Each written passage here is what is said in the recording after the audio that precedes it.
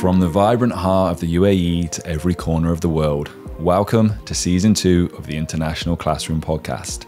Here, we not only explore education through a global lens, but also celebrate the unique needs, experiences, and perspectives each student brings. In each episode, we bring you insights and discussions from experts and educators around the world. They share their invaluable experiences, the challenges they faced, and the innovative solutions they've championed. So, whether you're an educator, a student, or simply someone with a passion for lifelong learning, we invite you to be part of this journey. Now, before we dive into today's episode, a quick note. Ensure you're following us on your favorite streaming platforms to always stay in the loop. And if you're tuning in via Deep Teaching on YouTube and you haven't clicked that subscribe button yet, do us a huge favor, do it now. We've been privileged to host some truly remarkable guests, and your support in sharing and liking these episodes means the world to us. On to the episode. Um, Dan, thank you ever so much for uh, for joining us today on the International Classroom Podcast. First and foremost, um, how are you finding Dubai? Uh, very hot. So I, uh, yeah, I don't know why I'm wearing a suit jacket today. So I just realised. Uh, yeah, I was. Uh, I got here a bit early. You guys said get here ten past two. I was like, I got here half one. Noticed a Starbucks on the way in, so I said the the kind woman who was driving me here. I said, "Oh, just drop me off at the Starbucks. I'll walk over." And she was like, "Are you sure?" And I like, looked out the car. You could literally see this place from from the Starbucks. I was like, "It's literally just there." She was like. She's like, oh, you might want to get a taxi. I was like, a taxi from there to there. I was like, are you joking? I was like, I'll be fine. Yeah, but now I know exactly what you meant. Yeah. Uh, so yeah, um, yeah, it's good though. It's, a, it's, a, it's an amazing place. First time here. Uh, I've only been here about a day working with um, the Dubai International Academy this morning with their leadership team. Amazing group. Very hospitable, very welcoming. Um, so looking forward to the next week ahead, really. So I've got got a full week of working with with amazing teachers and leadership teams and exploring what, what I love, artificial intelligence. And that's the thing we're here to talk about today. So, for the potential listeners out there, people watching who may have no idea who you are, what's been your journey to date with AI? Ah, Good question. I imagine most people probably don't know who I am. So uh, I, I was a teacher. So I in the northeast of England. Uh, so I was I was a high school teacher and kind of every every school I, I worked in over, over those few years, um, I always tried to move over to to Google for Education. I was a big lover of Google for Education, mainly because it was it was the first kind of online platform, ed tech platform I, I really came across when I was training to be a teacher. Um, and just saw the potential in it and and how how it could transform the classroom and just ed tech in general. So I always tried to move schools over to to educational technology. Um, so really got into it, and when I became um, uh, a member of the SLT in the in the school I was at, it was mainly because of my efforts of of moving the school over digitally. And when I got into SLT, I was I kind of got there and and it, and it came with all of the the trimmings of doing observations and all of that. And I was like, I don't think this is for me, this side of it. Like, I prefer being, as someone who was very much at the grassroots, kind of banging on the, the SLT door, going, right, we need to make changes. Come on, let's do stuff. Um, then to suddenly be in there and um, have all the the extra responsibilities alongside it that, I, that didn't really attract me. Like I remember because I hadn't been qualified long. I think I'd been a teacher two years, something like that, two or three years, and and I remember going in to do observations and and noticing like a teacher who'd been teaching for forty years like start to get nervous, and just being a quite quite a new teacher myself, having known that feeling and seeing the look on their face and thinking.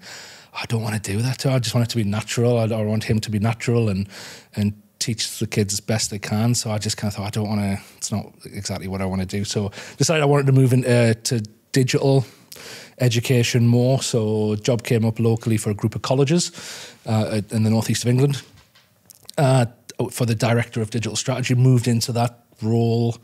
Uh, big role, so it was, it was a huge organisation, so over a thousand staff, uh, about fifteen thousand students, uh, and for the first time, I was kind of line managing a large team. So I had about thirty members of my team, uh, and the job was to upskill the teachers, the students digitally, but also kind of local industries as well, because within further education, you, you work a lot with industries.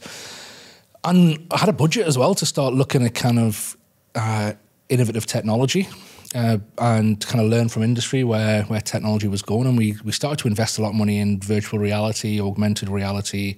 We had seven campuses, so we we started um, buying immersive rooms, so a bit like so a whole class could experience like a virtual reality room without having a headset on, and and and we went down that route, and then.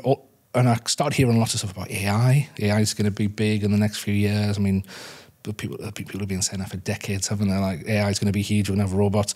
But there seemed to be something in this actually. The the the power it has to kind of analyze text and data, and then so we started to look at that and think, um, how do we start preparing ourselves for this and start maybe using some of the rudimentary tools that were starting to be developed.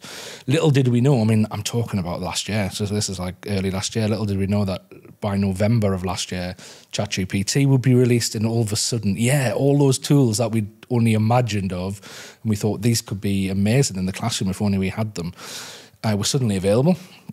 And I noticed that on social media, so I was a big Twitter user, I noticed that kind of early December time last year, there was there was nobody really talking about it from an educational point of view. And then I noticed somebody somebody uh, on Twitter mention it in a negative way about how it could actually um, be a negative force in education. I thought that's not what I know of this technology.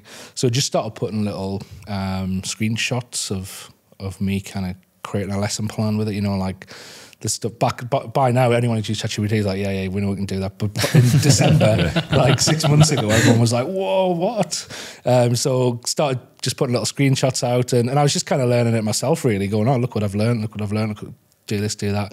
Um, and then uh, yeah that's how I really got into it and kind of decided I'd wanted to start my own business for a while um, and just decided you know what? There's people want to know about this um, I want to I want to start a business as well. So maybe I should start actually showing people how to use it, try and make make a living out of it, and and kind of kill two birds with one stone. Really help help educators get to grips with it, and then um, be able to do it as a full full time passion, which which I which I have is great. And, and since then, I've uh, released a book um, and and get to travel the world doing this, which is I'm in a real privileged position, so it's, it's amazing. I get to be in here in Dubai with you guys as well.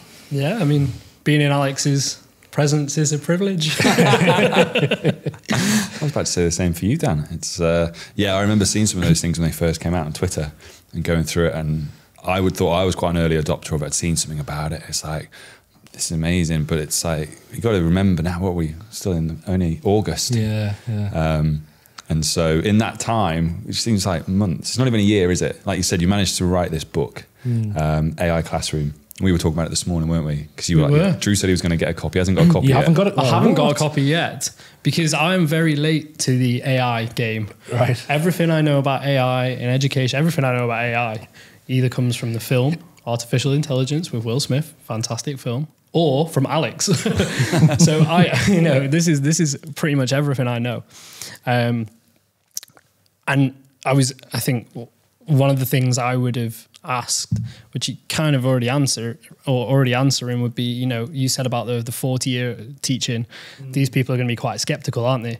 I was quite skeptical at the beginning, thinking, well, I've got all my lessons already. How is it going to speed up stuff that I've already done? I'm making new stuff. Okay, I might tweak things. How is it going to make my life any easier? In the beginning, now I've, you know, adopted more uh, how do you say it? More like I'm, I'm, more of an open mind, and I've investigated it myself and spoken to Alex more and done my own little bits of research. I'm kind of like, oh, actually, this is you know really good. But I imagine eight months ago, nine months ago, that was really difficult to get people to try and switch their ways. Is is is that is that the case? Uh, I guess, yeah. I suppose it's one of those things. Is that I think at the minute the if it's going to help you, it's going to help you. If it's not going to help you, I, I would say you don't have to be using it at the minute. And and I think and what, what I do when I talk to teachers is I say you, there's using it as in just jumping on ChatGPT. A lot of people have tried ChatGPT. They go on, they go right, uh, write me some questions for my class. I'm doing a I've got a biology class on plant cells. Write me some questions, and very soon they realise actually the response I'm getting here isn't amazing, um, especially if you just write write me some questions on plant cells, it's going to come up with usually because I do this quite a bit in workshops. Usually, it comes up with about twenty questions, and they're not relevant to what you've taught. And and of course, and, and one one of the things I say to teachers as well as as I say, there's if you look at society um, and the the skills and the the jobs that are in society, the, there actually should be no better profession out there to use these tools. Because asking questions is a teacher's bread and butter. It's like it's it's it's the core of what we do. We ask questions in a specific way to get specific answers, so we can measure students' progress. And that's exactly what we're doing with AI. We've got techniques for it. Um, techniques like I do, we, we do, you do, modeling techniques.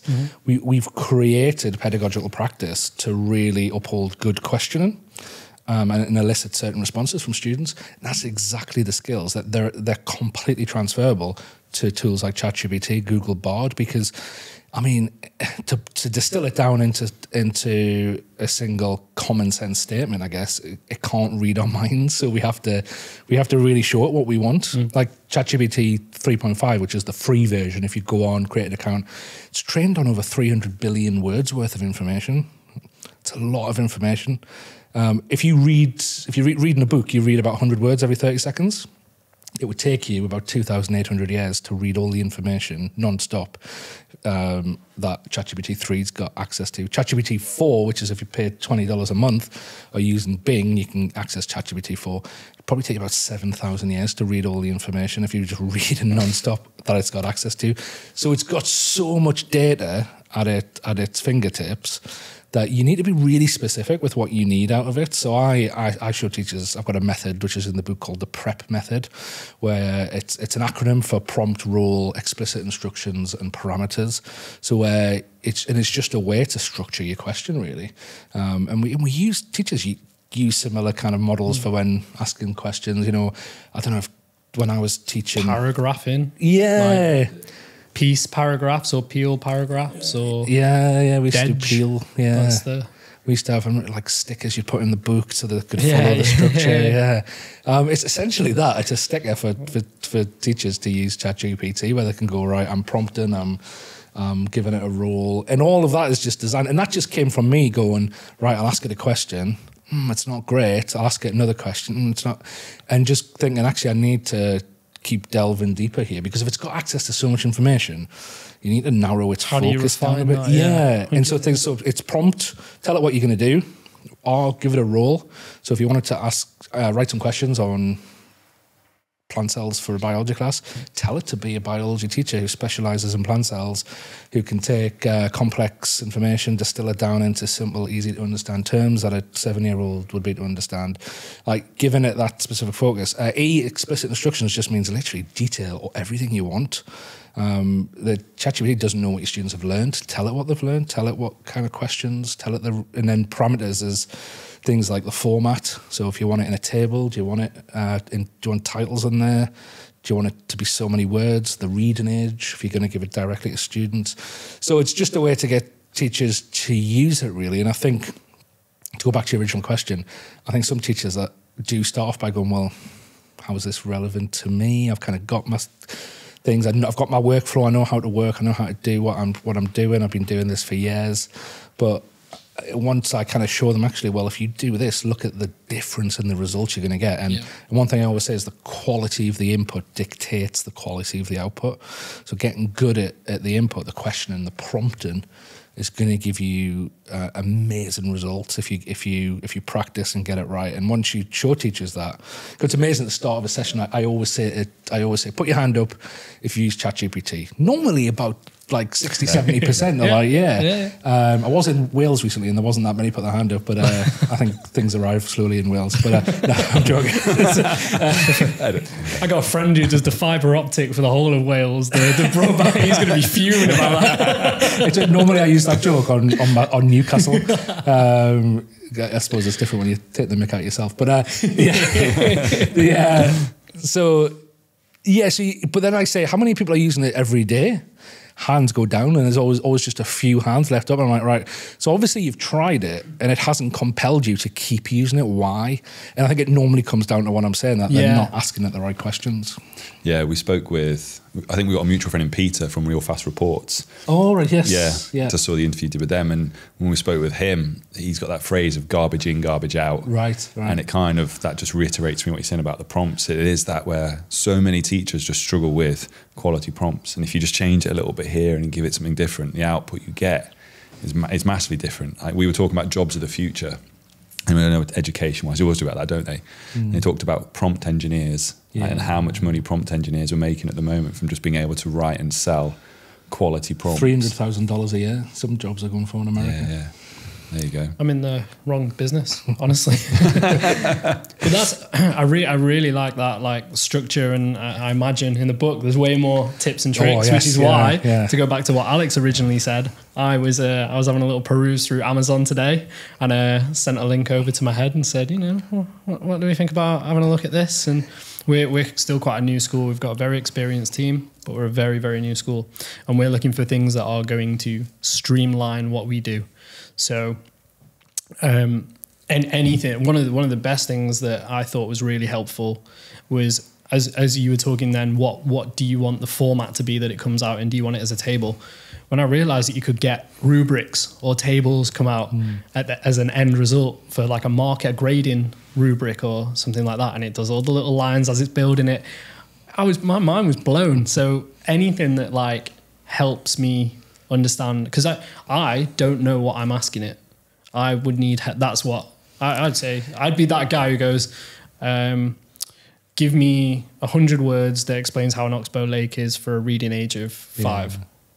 For the well, maybe not five, maybe ten or year five, and then it would come out, and I'm kind of like, okay, well, what can I then do with that?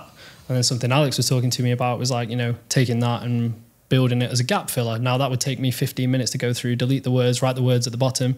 We just say mm-hmm. turn this into a gap filler, only take out words that are over six like six characters, and mm. building that kind of bank of knowledge has really helped me save so much time over this summer building my resources for next year because we're growing year on year. So we have year 11 this year. This is the first time we're going to have year 11. Those resources aren't built because I'm not as up to date with my current affairs on case studies that are more relevant from now. So I would want to put take an article, put that article in, and say, "Can you summarize this?" There we go. That's summarized. That's easier for the kids to read. That saves us time. Like easier than me reading through it and summarizing it. So these little things that we've been practicing are saving time, especially when you've got so much to do in the mm. year.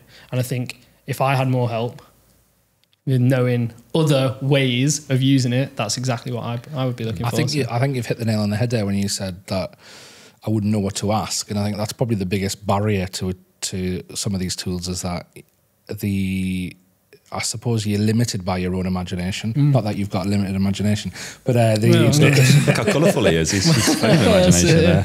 None of it's my imagination. but it's it's the thing of you don't know what you don't know, do you? So I'd say a, a large part of what I do is I'm not doing something that the teachers can't do. Otherwise, there'd be no point getting me in to, to deliver some training to your school because I'd walk out the door and the teachers wouldn't be able to do any of it.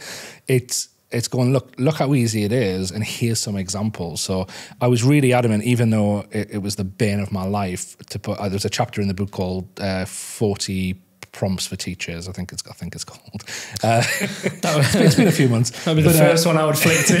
before you were the- yeah, but it, it, and it's all so the chapter before that he introduced the prep method, Yeah. and then all the forty are kind of based on prep. So and and it's like it's a template for each one. So it's like everything from design a lesson plan to a risk assessment for a school trip and kind of everything in between. And I kind of see the purpose of that of not going, oh look, um, I'll show you the, the technical way to do this. I'll show you the skill. It's not entirely. It's not all that. You don't need that much skill to do it. It's just more going look at what you can do to try and spark some ideas. You can nick this idea, but you could also also inspire to go. Actually, I could do could do something else with this. I could, and I think to be honest, I think there are still. I mean, sometimes I think because when I when I formulated that and I go out and, and I go to schools, I think it's been a few months since I came up with those prompts, and I'm always thinking, kind of, how could how could I make it more dynamic? How could I how can I actually take it to the next level? Um, which, and I think is coming from, I mean, I know so far we've talked about kind of text to text AI models, um, but but there's so much more out there in terms of text to, to image, text to video, mm. text to audio, uh, that when uh, there's, there's a term if, if you're in the ed tech world called app smashing, where people go right, let's let's take some apps, make them work together, see what we can get.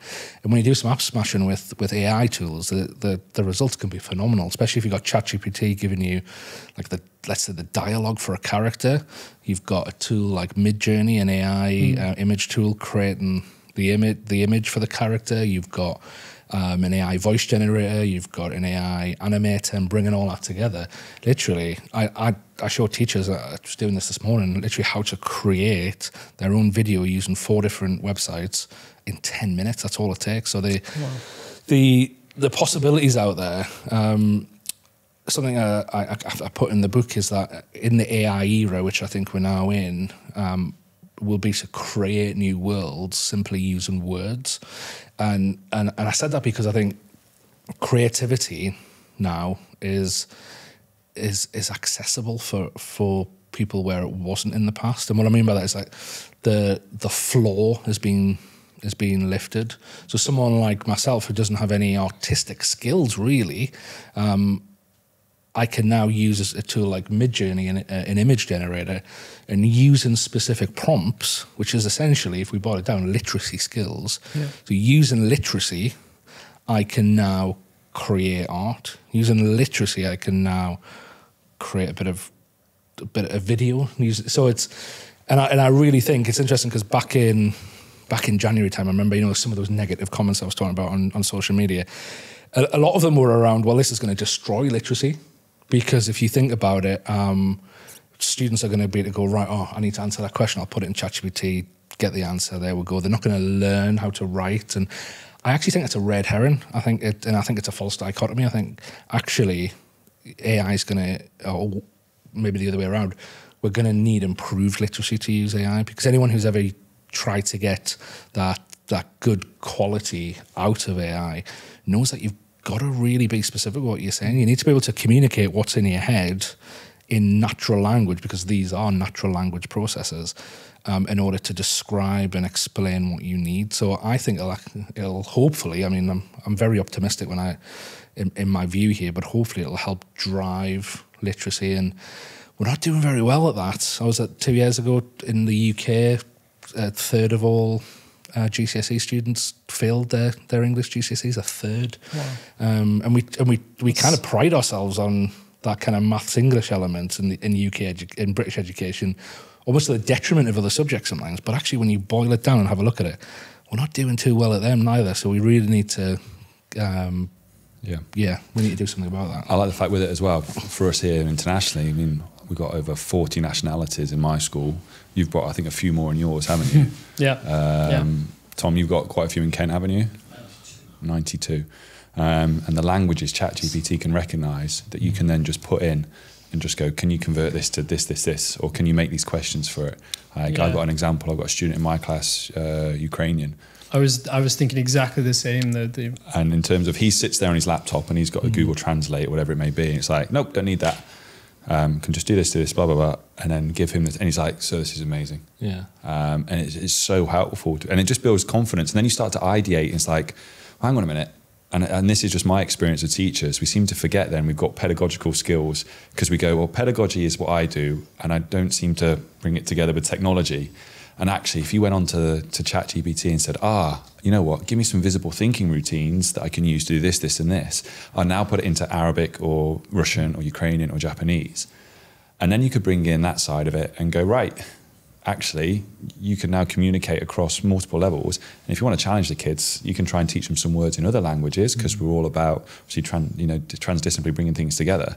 And it's a multiple way of doing. And I would never, a year ago, would never have approached my teaching as a scientist. Would never have done that.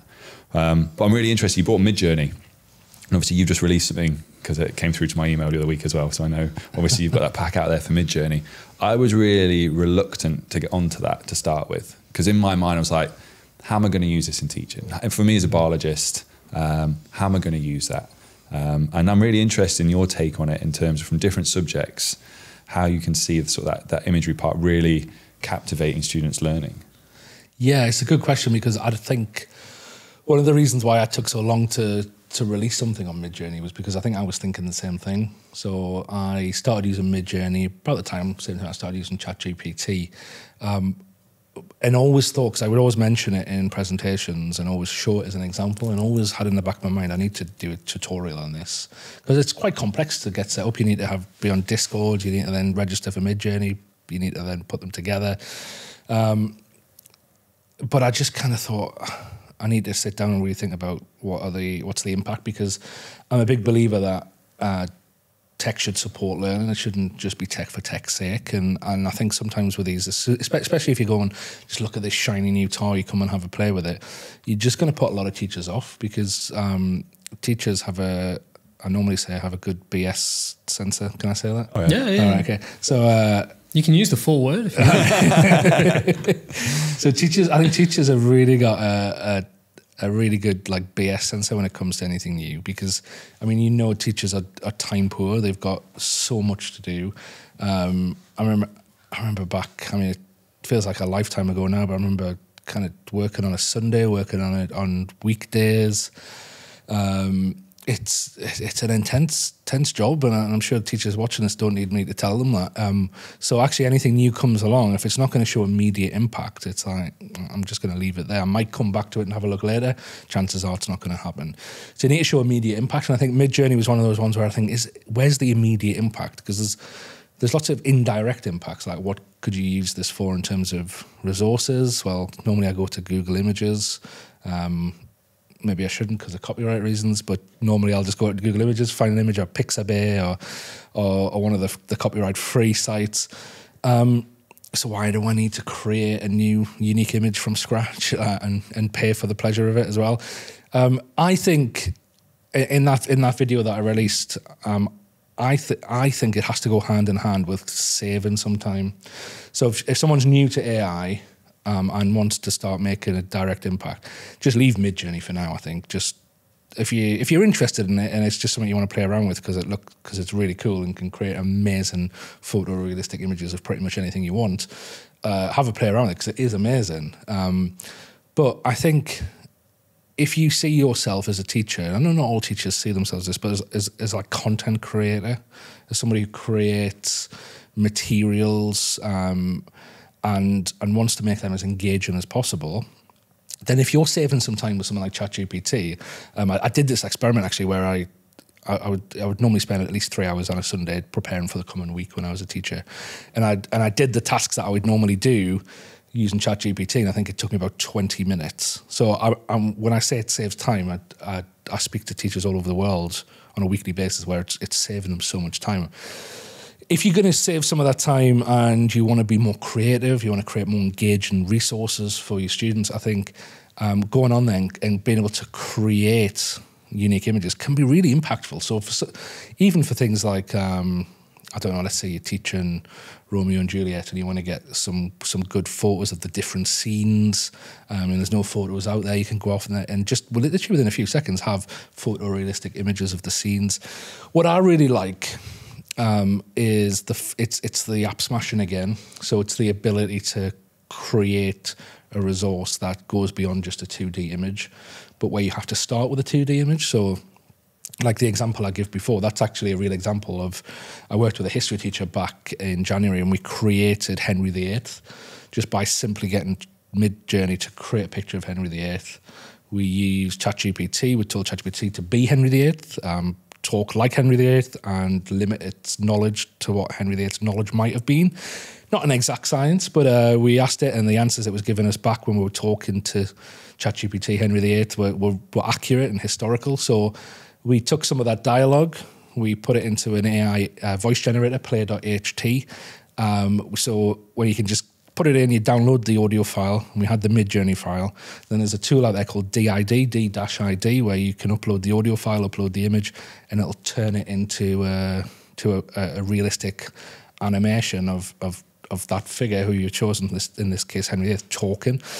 Um, and that technology is progressing so much. And now, now D-ID's got the the ability to have a real life conversation with the avatar. So you're not just telling it what to say, but it takes on almost the brain of ChatGPT, and you can talk to it in real time, and it answers you back. So I think to use kind of a, an image generation platform, you don't have to use Midjourney. I mean, if you've got Canva for education, a lot of teachers use Canva. There's an image to text tool in there. There's DALL-E, which is uh, created by the same people who made uh, ChatGPT, OpenAI. There's, that's free to a certain extent, I think. So you can go and create it. You can upload it to these tools. You can create, and, and just to give you one example to take it a bit further, the, we I then worked with an English teacher where there's a there's a great tool out there called Blockade Labs. Works a bit like um, an image generator where you type in what you want. You don't even have to log in for this. You just type in what you want. Instead of creating a 2D image, it creates a 360 degree immersive image, which you can then put a, a, VR headset on and actually be within that image that you've just created.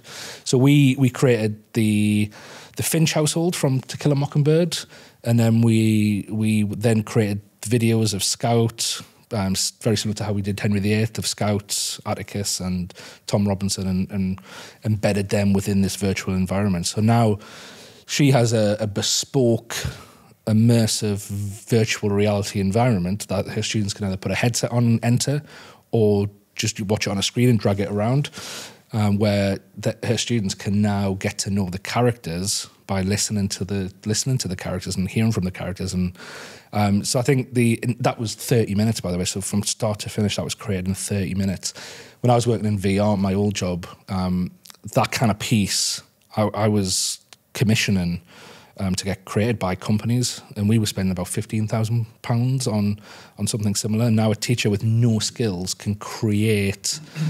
Uh, worlds like that. So before, when I said in the AI era we'll create new worlds simply using words, uh, no exaggeration, we cre- create virtual reality worlds within less than half an hour. It's got my, my brains whirling. I'm, I've, I've got so many ideas of how you could do this. You know, like yeah. I'm thinking from a geog- from a geography point of view, the image generation is brilliant because, as you say, I'll look on Google Images and it's never the right kind of picture, or especially if you're trying to create new exam questions. So uh, the, my mind instantly goes to when you see a um, Wavecut platform. And if you type into Google Wavecut platform, it's the same four images come up every right. single time. Now, exam boards will have a picture of a Wavecut platform, but to identify a Wavecut platform is quite difficult for students to do. When you see it, you're kind of like, is it a beach? Is it a cliff? Is it what, what are they asking for here? But to generate those images, you know, you can have thousands of different versions of a wave cut platform. And so this is this is how it could look. You're giving bespoke images to students, you know, some a little more tricky than others to be able to challenge them in all different ways, exactly that way. But then, as you were saying about this, um, creating a world, you could get the students to create their worlds using the key terms that you've given them. So you could say, mm. okay, I want you to create a coastal landscape now, or I want you to create a drainage basin or a river valley. I want you to create that and then show us mm. and demonstrate, okay, so has it got meanders? Has it got oxbow lakes? Has it got what, how, how have you created this bespoke river for you? What inputs have you given? And you can dissect that as a class. You could like, that's where I want dissections, like yeah. VR headset dissections like, because here, especially in this international, there's things we can't get. There's things we can't get in classrooms yeah. sometimes. And for me, it's like, okay, well, if I can't get eyeballs, you could do that. You could, and give it the information of what it needs, and you could do a virtual one. You could do the heart. We get heart dissections, lungs, um, all sorts. You want to do bacteria labs. You want to see what's going to happen, what these things look like on a microscopic level. We can't do it. Oh well, we could run it in this. You could then, literally like magic school bus the students, couldn't you? Shrink everyone down, down yeah. and go inside the human body and be like on the journey of oxygen through a vein. Yeah. Uh, does oxygen go through a vein? No. It can do. Artery? Yeah, yeah in a red blood cell. Yeah. yeah. yeah. So apparently, yeah. There you go. You, will know more. Yeah, yeah. Is, I'm looking at it like. Uh, well, I was looking at you when you were talking about whatever it was geography wise. I was like, I'm going to smile, just going to smile and nod because I don't know what you're talking Sorry, about. I got excited. But, can you tell? It's amazing. But that brings us. It kind of for all those possibilities and amazing parts. If we take a step back to the skeptic of us, it's like, do you think this is going to create a divide in education? Because not to bring up the fact you mentioned Wales and its terrible internet connection. That was Dan, by the way. It wasn't me or Drew. um, yeah, to um, all our listeners in Wales, we love you and we stand with you. But there are people out there that are worried about the divide, the educational divide for those who have and those who haven't, Yeah. and what that could potentially create. Do you, do you think the accessibility? Do you think we're going to have those gaps forming in the next few years?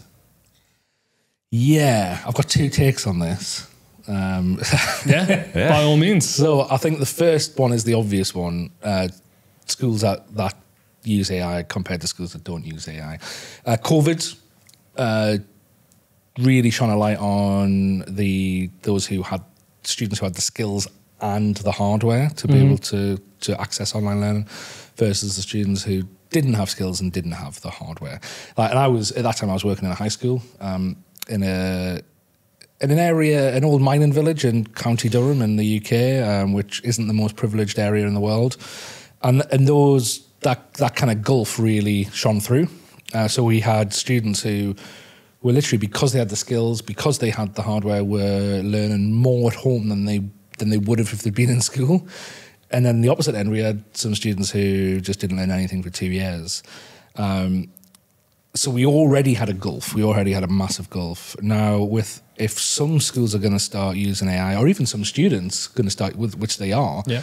and in, in spite of their or despite their their school telling them to use it or not, and then some students not using it, the that is that's going to be a hundred times. It's not just going to be double. It's going to be a hundred times because the ability and the the kind of the the doors that AI opens to, to different skills and to different capabilities, like I said before, it raises the floor. Um, so it raises the floor on creativity, on on our ability to do certain things. So absolutely yes. The the other take I've got um, is is is this. I think uh, I'm not sure if you wanted to get into this, but I think one of the indirect consequences of AI that not many people in education are think about at the moment is non-traditional competition. So most schools, uh, public schools, state schools, don't have to worry about competition. Never had to worry about competition. Um, I grew up on a council estate in northeast of England. We went to the local school, uh, and then the local secondary school, and that was that was it. That's what you did. Uh, that school didn't have to compete with any other school. It's just it's just Just in the football. yeah. um, now I get that's different for further education. Tends to have to colleges have to compete with local colleges. Uh, independent schools sometimes have to compete with other other schools in the in the area. However, the actual the core of what they deliver doesn't really change. It's not like Netflix versus Disney where they've got completely different packages available. It's pretty much the same. Now we can talk about school culture, we can talk about skills of specific teachers and leadership teams and all of that. But actually, at the heart of it, it's pretty much the same. Now, and what might make the decision for some parents is the prestige of a school, might, whatever it is. But I think, I mean, that's traditional competition. I think we're we're just about to enter an era of competition, the likes that education never had to deal with before, ever had to deal with, and we're walking blindly into this. Not many people actually are, are, are keeping an eye out on what's coming over the horizon, and what it is is privately owned educational providers who are building online schools right now, and it's happening all over the world. So, one that I'd like to give an example of is Synthesis out of California. So, Synthesis, uh, I know Josh Dahn, he's, he's been on my podcast a few times, uh, great guy. Essentially, he was teaching at a school in California. Elon Musk's kids went to that school. And Elon Musk said to his kids, he said, Look, tell me which of your teachers is is inspiring, who really inspires you. And they, they said, Oh, Mr. Dahn, Josh Dahn. And he said, Why? He says, Well, because he, he gives us like real world problems to solve in the les- in the lesson and, and gets us to problem solve. Elon Musk got his secretary to ring Josh Dahn and said, uh, Elon wants a meeting with you at SpaceX next week. Josh Dahn goes over to this meeting. Like I've spoken to Josh a few times about this. He was like literally shaking in the car on the way there, being like, "What's what's going on?" Uh, so Elon Musk sits down with him. And he says, "Look, you're my kid's favorite teacher. Uh, they love what you do, and I like the sound of how you apply the learning. Um, can I? I'll give you some money. Can you set a school up here at SpaceX? We'll give you one of the conference rooms, just like I say, a school of like a few kids. So, so my my, I think he had, I think he's got triplet boys. So he's like my my three boys and the the boys of and girls of some of the other uh, rocket scientists. They'll join you in the conference room each day. Just want you to make the learning fun, problem solving, collaboration, all that type of thing. You know, the, the kind of the, the skills that Elon Musk kind of prides himself on. And if we're being honest, the World Economic Forum has, has said are, are vital. Yeah. Yeah. um, if you read anything the World Economic Forum has put out on, on, on skills and what's needed from education over the last few years, it's all these skills. So uh, essentially, uh, Josh, uh, you, be- Elon Musk being Elon Musk, his kids were ready to leave the school, so he just wasn't bothered about it anymore. So uh, he said to Josh, I'll give you some money. I want you to go set up your own school. Josh set up Synthesis, which is an online school where they develop problem solving activities, games. They, they design their own software where students essentially get on a video call with students from all over the world. They work collaboratively with, with each other to solve them. They've just released their first ever AI tutor chatbot tutor in collaboration with a, an organization called DARPA in America.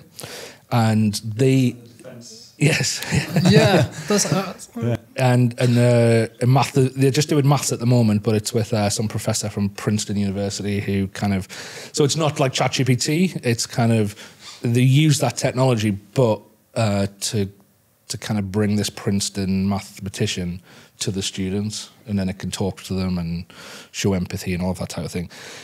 Um, this is where the competition is now going to come from. So and, and there's loads of them out there. Sora schools, Kidato from uh, out of Africa. A lot of them popped up during COVID, and are now going. Well, how do we boost what we're doing with artificial intelligence? Um, and we're, we're going to see that. We're going to. I mean, I, I've got a two and a three year old at home. Um, you better believe they're going to be doing synthesis. Like, they, of course, I can't. I can't, as a parent, knowing that that's out there, not put them on that because I'd be like, you're missing out there. So I'm, I, I think more parents get awareness of this um, and, and awareness of different provisions and different types of schools. I, I think the, the traditional schooling system is is going to be faced with real competition, and and and going back to kind of uh, equity, um, which was the original question. The I think what that does to society then is really really interesting because what happens when when education becomes a private company, like any other company in the world, it's it's subject to the same capitalist um, functionalities. In that, once there's competition, what happens? Things get cheaper and cheaper and cheaper, and we're going to see affordable private education. But what concerns me is that slice of society that still can't even afford just to pay a little bit extra for, for for any supplementary or privatized education. I think what happens to them, and I, I've been to Kenya. I've spent some time in Kenya. It's very similar there at the moment. They have a very um, they have a state system which which works f- for the poorest people. I mean, you see it on TV, like literally in in the classrooms are huts uh, with old chalkboards. They've got no money, um, and anyone with even just the tiniest bit of money can afford some kind of privatized education. Um, and I, I worry that we could be entering, and or we might get to a phase like that. Um, which is kind of why, why I do what I do because I'm like the traditional education system um, needs to wake up, and if it doesn't, we're walking into this type of um, this type of world where, and it, to be honest, I mean not to get too political, but it's happened to the the the NHS in the UK at the moment. It's happening to a lot of public services where um, those with money are going to be able to get a lot more than those without money, and I think it's Yep. happening within education. Um, I think, in a, in a certain sense, it's a good thing. It's not all doom and gloom. In fact, I think it's very little doom and gloom because it's, we're going to opportunity for absolutely development. And as you say, with competition, yeah, things are going to get cheaper, but with that competition, things have to get better as well. and also So like it drives the. Yeah, if I mean people like I said, the World Economic Forum. If the, if if schools are just going, yeah, yeah, yeah, okay, you want us to teach collaboration, problem solving, communication, critical thinking, yeah, okay, but we've got to, we've got this curriculum to get on with. We've got some exams to to get kids through. Then the companies are going to go, well, well, we're not having no, we're not having those graduates. We'll have the graduates from synthesis, please, because. They've, they're coming straight out with problem solving skills, the ability to, to solve real world issues, to collaborate. And I think um, education will be subject to the forces within any capitalist um, market in that demand's going to dictate. And but I think that's where we're heading. Well, those studies studies about convergent and divergent thinking has been around for hmm. ages, and I think they went back and this we're talking years ago. Top twenty-five chemistry Nobel Prize winners in America. What universities they went to? And if you ask that question to most people, straight off the bat they go, "Oh, it's got to be Harvard or Yale or MIT or those ones." And they said, "No, of the twenty-five chemists, I think it was chemists who won it, you know, that's something like twenty-one different institutions." So, well, how does that make sense from an educational perspective? Because surely all the brightest and the best will go to those three universities, and, and we see that in schools. And it's like, well, no, because of the skill sets they were taught. It's like you go to, and we see this here, especially in you know in Dubai, about academics. This and it's it's the grades. A level results day yesterday. Everyone's going A star to B. In you know we get measured in English, science, maths. It's like, well, hang on a minute. Those are just what we would consider purely academic. You take an IQ test, purely academic. The thing that stands out for me the most was when I was training to teach. I had a f this amazing physics lecturer at, uh, at Loughborough, and he was like, "David Beckham is a better physicist than I am." We're like, "What?" It's like he can kick a ball, spin, put it wherever he wants it to go. You know, trajectory, pace, all of those things. You know, I can't do that. He said, and he can do it without thinking. And it was that then interpretation of, oh gosh, yeah, that's really eye opening about skills and how we view academics versus in a divergent, convergent way.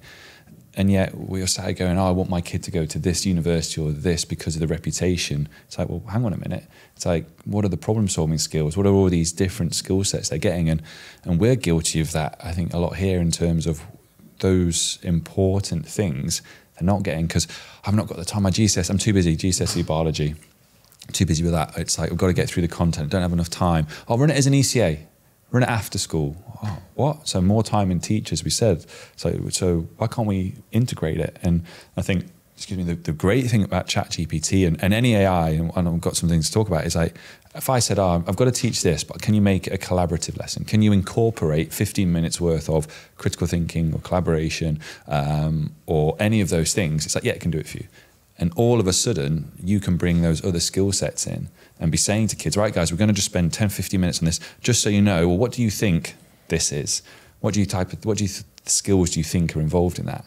And it's it's another way in terms of ideating and coming up with different ways of how you can use it. And a resource where you go I never thought of doing it like that. I would never have thought of that. And it's not just chat GPT now is it? Like I'm seeing a lot on LinkedIn teachers talking about Claude 2 in terms of being able to take a PDF or a document and put it onto it and then have that interaction and ask it questions. And even with chat is it chat PDF yes. I'm looking at that and going I wonder if I could take you know a, a PDF document on what is Rosenshine's principles, new teachers, and go, there's information, ask it. It was in, come up with a prompt that's really good, and ask it to help. Or, or I've got kids that are struggling. Well, I've managed to convert some text into into that, put it on there. There's your tutor, guys. Go and ask it and integrate. And it's those types of things as well we're seeing now that it's teachers. It's like, oh, we could we can show this to kids, but it's it's what you mentioned. It's the accessibility to it. But these idea of having the bots there almost, I, I'm starting to see that a lot more now, where teachers the technology hasn't really changed. We've just become more innovative with it and going, oh yeah, we could do that with it. And you know, and that's nine months down the line. Give us another year and the technology improves. And if we continue to innovate and have these collaborative conversations, it's like, can you imagine where education is going to be in a year's time if, if we can get out to the masses and, and encompass it for everyone? It's, uh, it's exciting. I think it's, it's an exciting time. It kind of leads me into my question for you in terms of what do you see in terms of you know around the world in the next year, the next five years? Where do you think we're going to be at with this? Uh, I don't know. Have you got a crystal ball? Uh, got a magic eight ball? Just shake it. um, I think I kind of liken this to late nineties internet era. So. Um, back in let's say I think it was 1997 so I was what about 11 years old we got our first computer. we, we I got, was alive. we got our first computer. I remember, um, and I think my parents must have like got it on finance because we were like we weren't well off, and these things cost cost a bomb back then. Um, and so we we set, I remember it was set up back in in the corner of the dining room, I think it was, uh, and I remember like going on it once, and it, it's interesting because I remember I remember like I remember going on it and not knowing what I was doing or what I was looking at, or um, and now that I think back, like to my memory of what I was looking at, I think I was just opening a, a folder. Uh, you know when you open a folder, and I remember go- you know a folder's got like a search bar at the top so you can search for a file. I remember typing in that, thinking I was typing into like a search engine, and nothing was happening, and I was like, "What? What's what's going on here?" Um, and then I remember my parents after about two months sent it back. I think because they just thought, well, what's what's, what's the point in this? like it's just obviously just hype. Why why do we need a computer? Uh, 1997, so uh, pre Google, uh, very rudimentary email, very rudimentary um, browser. Um, not much going on out there unless you were into chat rooms and things like that. Uh, very very basic in it. 1997. Fast forward 10 years. 10 years isn't that long. I mean, was it 2013? If you go back to like two that 2000 it's 2023 not 2013 but if you go back to 2013 that's like 10 years ago it feels like yesterday like 2013 so Yeah, yeah. 10 years not that long from 1997 to 2007 do you know what happened in 2007 big tech event.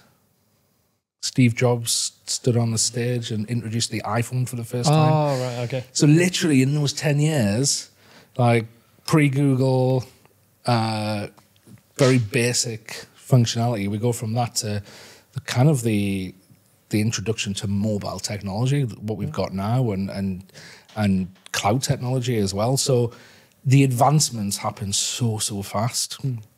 I think we're in that kind of era for for AI at the moment. The, the only difference is AI's or generative AI, to be more specific, is going to it's going to happen a lot faster. It's going to happen a lot, lot faster. Why? Mainly because companies have learned the lesson from the internet and, and thought, right, let's run with this right now and go for it. And you, you just have to look at all the advancements and new tools that are coming out on a daily basis. But also, all technology eh, up till this point has always relied on a human advancing it. So human making whatever the the the technological advancement is and integrating it. The the thing is with with AI is that it can learn from itself as well. It learns from the human interaction, but learns things for itself. And that learning can compound. So if it's learning and then taking action on what it's learning over time, that's going to compound a bit like you put money in on stocks and shares. You get I don't know what six percent return tends to be the average. Um, if you if you if you spread it out, that six percent you put hundred pound in, that becomes hundred and six pound the next year. So you you invest in hundred and six pound, and and over time, eventually, it's going to get to a point where uh, your your investment is now huge because it's compounded over time. It's gonna it, the same is going to happen, and and so it leads to predictions like. Uh, so Ray Kurzweil, who used to work at Google, uh, top engineer, uh, wrote a book back in 2006 called The Singularity, and he predicted, and we're still on track. Pretty much everything he said is is come true in, on on his timeline as well, which is which is bizarre. Uh, he said that by 2045, uh, we'll reach a point called the singularity, where uh, all artificial intelligence will uh, be far beyond the complete intelligence of the planet in terms of human intelligence. Uh, and at that point, we're not going to understand really what's going on with AI because it's going to be at such an advanced level. A human looking It's- at it is not going to fully understand how it's coming to the conclusions that it's coming to. We're going to be living in a very different world by that point. And he talks about the integration of AI with biology and to, to kind of to improve to, uh, human biology as well. Um, I'm looking like a few decades down the line. It sounds like a sci-fi movie, but if you think um, I'm thinking like Terminator style, you know, integrating with biology, biomechanics. And What was that? Johnny Mnemonic. Wasn't there a film? I think it was was it Keanu Reeves? More like being able to the, what you can store in your brain, like having those things, like having it hardwired, uploaded into it. That's like the um, the Black Mirror episode. I think it's the first Black Mirror episode where he's got the thing in his eye, and he goes to like airport security. This is where I think it's going. Is is kind of, you know, they had the Google glasses and things hmm. like that. But is there going to be some kind of implant that you can get that is allows you to be able to speak different languages or understand like a like a hearing aid that allows you to be able to communicate with people of hmm. different languages and whatever language they're speaking it can automatically I mean, that's been around a few years. The Google Pixel Buds can do that. Can they? Yeah. No way. They translate. I thought I'd come up with this amazing. I think I saw it on Futurama. but there is there's a company called Humane, uh, and they were on a TEDx talk a few months ago. If you go to YouTube, type in TEDx Humane, they they're prototyping at the minute like a clip-on AI assistant, and they, I think their vision is that it'll eventually replace the mobile phone, and it essentially kind of records or, or is aware, I suppose it is record of everything you're doing across your day. So it'll take notes for you, it'll summarize your conversations for you. If you're like, you know what, I had a conversation uh, with Alex at about two weeks ago, he said something which was quite profound. Um, which uh, I- I- This what do you Alex. wanna- No. um, I, I nearly made the same joke, but I was like, I don't know Alex well enough. I can't. I can't. this is going to look mean. Uh, um, so, sorry, Alex. It's okay. Uh, Used to it. Um, but that will um, that will be able, yeah, be able to to just to kind of recall it for you. And to, to be honest, there are some tools out now that can that can do similar things. There's if you've got a Mac, there's, I forget what it's called. I think it's called something like Rewind AI, where it literally is recording everything you're doing on your Mac all of the time, and it stores it locally so that uh, for like privacy issues. And if you're you're, you jump on a video call, it'll it'll transcript it all and keep that transcript. wow. If you if you go to a website and you just scroll up and down, it'll track everything on that website, everything that's there. So even if you haven't noticed it, but anything that's on your screen, essentially, it'll track it. And then you're able to, via a chatbot, go, you know what? Like two weeks ago, I was, I remember opening a website and what, uh, it, or I was on a video call. What was the and such said percentage of this. some? I'm thinking like case studies for for I was schooling. thinking, you know, I was thinking Jarvis from Iron Man. Ah, That's yeah. literally, literally where I got to. Just like Jar, that AI assistant is just. I think we are heading in that Yeah. direction. Like, if you look, like we do. I don't know if it's something about just humans. We're influenced by things like Hollywood, and we always go in that direction, don't we? We go in. I suppose because it's a bunch of humans get down and imagine where this technology could go. You're gonna write sci-fi, Yeah. or if you're an engineer, you're going to create that sci-fi as well. So I think we will. We are going in that direction. Um, it's I was thinking how easy it'd be to blackmail certain people. You know, because if it's recording everything, Yeah. some you know, the, it's also as as amazing as that sounds, as incredible as it sounds, it's also a little bit scary. Like you know, you could have done something by accident or gone on somewhere, and then that could become.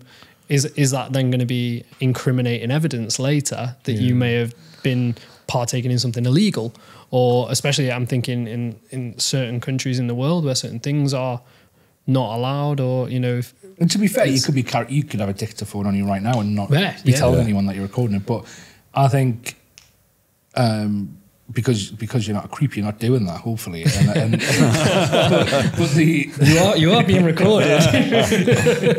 um, but uh, the if that technology is just on us all the time, and it becomes Yeah. more acceptable, maybe we it just becomes diluted, and we just kind of think, oh, that's what we have to put up with now. But I do think. I mean, there's huge privacy concerns there. Like, are we going to have to get someone's permission every time we have a conversation with them?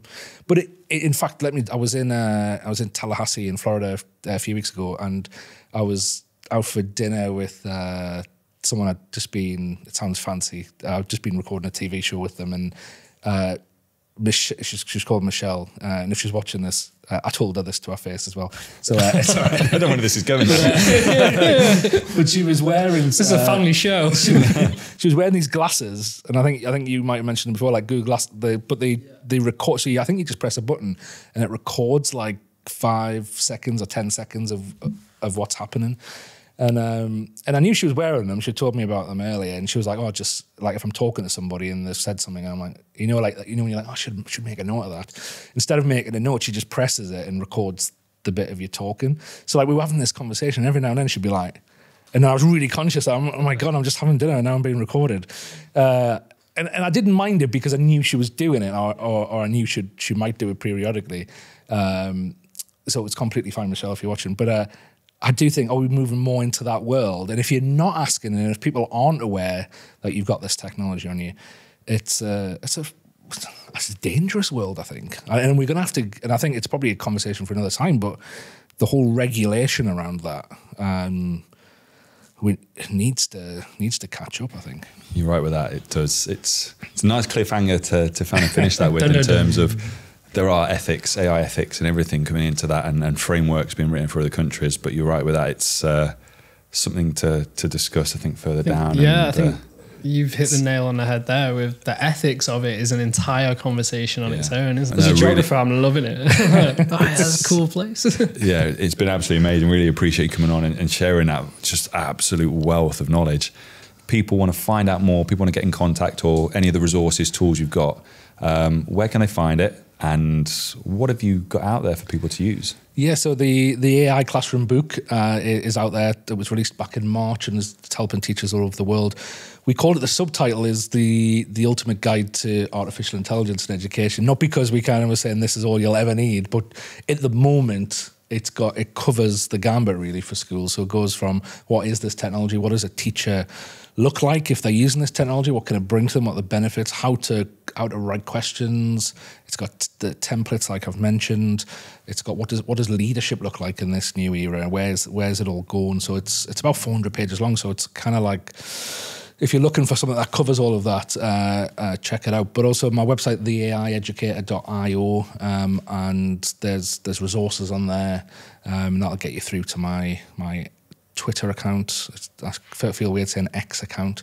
Um, that'll get you through to my Twitter account and uh, and LinkedIn.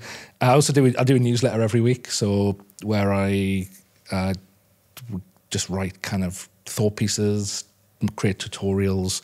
Um, sign up to that on the website. yeah, so it's, it's literally the the homepage. Go on and it the box will be right in front of you. You can sign up to that, and and we've also we've created a, a Facebook community, so uh, a Facebook group. I think is that what you call it? Yeah. To be honest, I wasn't really using Facebook until we created this, um, but it's it's great. We've got twenty two thousand teachers are in that group from all over the world, sharing resources, um, questions, concerns. Um, so it's a great if you want to get to grips with AI in education, uh, it's a great community to, to to come and join us, and you can just search the AI classroom in Facebook. So yeah, um, lots of ways, and uh, look forward to connecting with people. And you were also saying, obviously, because you were name dropping a few countries, if there's any countries that you, you haven't been to yet that you want Yeah, to go to, a holiday in Bali. That would be amazing. So, if there's any schools in Bali? Uh, I think there's a few in Mauritius. I'm sure I've seen jobs. So you know, There's one in the Maldives that I've been looking at helping out with. You know? we joke, we joke. Yeah, I think my I think Julia, my partner's going to leave me if I if I go on any more trips without her. So if you can afford to bring Julia along with you as well and the kids, then absolutely go for it. Amazing, amazing. It's, then- w- it's well worth it. I'm, I would say I've got the newsletter over six. I think it said the last one was like over six thousand teachers on the newsletter. Yeah, It's a yeah. real valuable Wow. read. Yeah. Like the website and the amount of stuff you also give away for free. Like is, I mean, I know we touched on the Midjourney stuff that you've done and, and, and other parts um, and some of those courses. Um, I'm a philanthropist, Alex. No, uh, no, I'm a big believer in. Obviously, it's a business. So I've got to got to make a living out of it to, to continue doing it. But um, I'm a big believer. you've got to, in order to get people to trust you, you need to show value, and that's part of that's why I give things away because I'm like, you need to show people that actually what you're doing is valuable and. Uh, yeah, I think it is. I think it's. I think as, as an education system on a on a systematic level, we we we we got some work to do. yeah. Well, I think we can all agree it is of value. Yeah. Um, certainly having used it and the amount of people that do use it and the schools that want you. Um, so keep doing what you're doing. It is of high value, Dan. Thank you. I really appreciate that, and yeah, it's an honour to be on your show. Thank you. Oh, thank you. Oh, oh take that.